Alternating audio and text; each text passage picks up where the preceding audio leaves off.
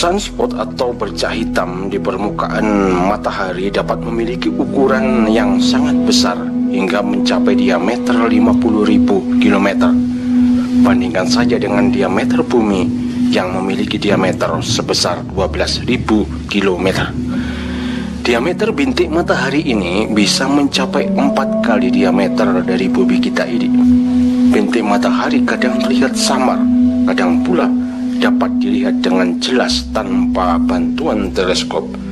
Dan kebetulan hari ini adalah gerhana matahari dan kita bisa melihat langsung dari teleskop untuk kita rekam dan kita lihat bersama. Matahari sebagai salah satu bintang di galaksi Bima Sakti ini merupakan pusat tata surya kita Permukaan matahari yang disebut fotosfer memiliki suhu sekitar 6000 derajat Celcius.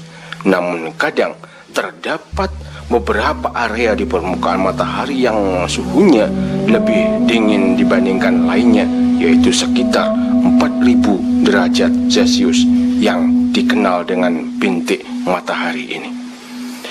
Karena perbedaan suhu ini, Bintik matahari akan terlihat seperti noda hitam di permukaan matahari. Ya, terlihat seperti ini.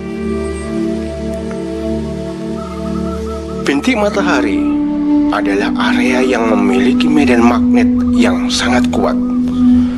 Medan magnet di bintik matahari ini bahkan bisa mencapai 2500 lebih kali kuat dari medan magnet di bumi kita jauh lebih tinggi daripada di tempat lain, bahkan di matahari itu sendiri. Karena medan magnet yang sangat kuat tersebut, tekanan magnet meningkat, sedangkan tekanan atmosfer sekitarnya menurun. Hal ini menurunkan suhu relatif terhadap lingkungannya karena medan magnet yang terkonsentrasi menghambat aliran gas baru yang panas dari interior matahari ke permukaan dari lapisan matahari tersebut.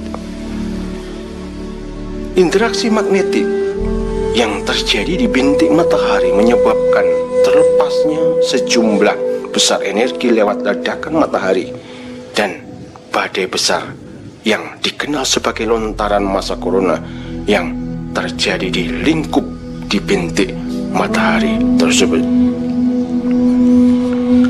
Permunculan bintik matahari diawali dengan munculnya sebuah bintik hitam berukuran kecil seiring dengan waktu tersebut bila medan magnet terus-menerus keluar dari dalam matahari akibat gaya apung. Maka akan tampak dua buah bintik seperti yang kita lihat seperti sekarang ini dengan polaritas medan magnet berlawanan.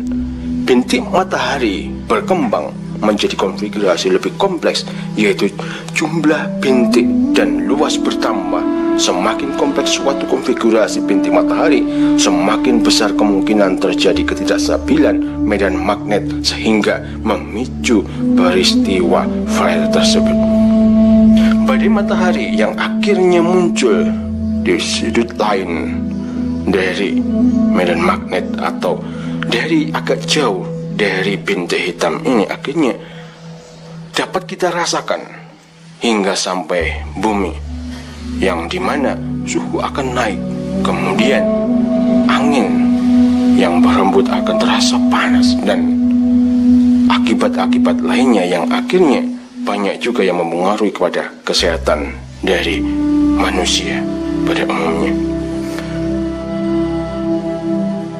Siklus matahari tidak selalu persis 11 tahun sekali. Karena munculnya dari bintik hitam ini terdeteksi setiap 11 tahun sekali. Tetapi terkadang siklus ini dapat berubah juga Yaitu muncul paling cepat pada 9 tahun sekali Dan paling lambat dalam 14 tahun sekali.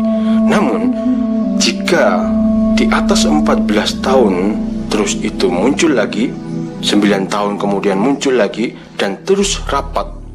Munculnya itu terus rapat ini Bintik hitam ini terus melebar.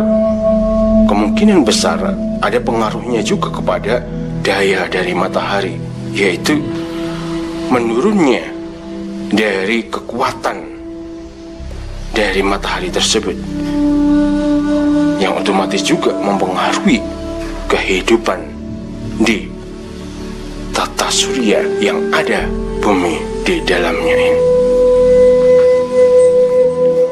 Inilah gerhana matahari sekarang ini yang akhirnya kita tidak sengaja merekam bintik hitam tersebut walaupun terdeteksinya juga tidak sengaja akhirnya kita menemukan jawabannya apa sebenarnya yang terjadi pada permukaan dari matahari yang sebagai pusat dari tata surya kita ini.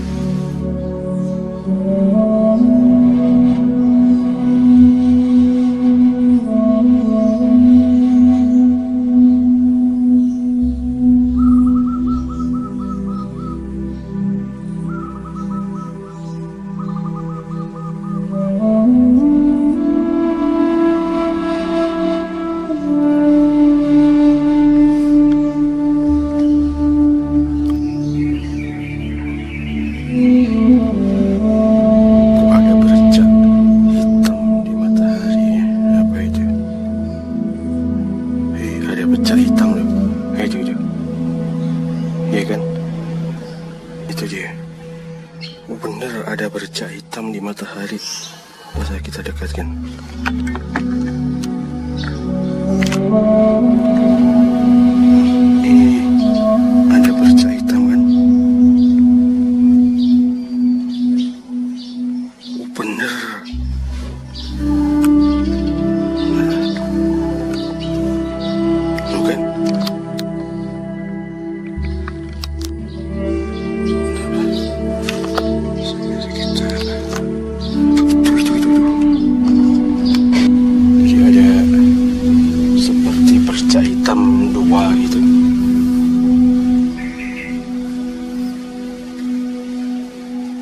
sebentar.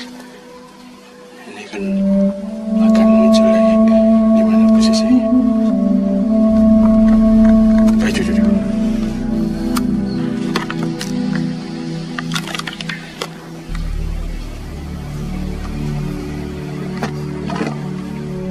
nah kan?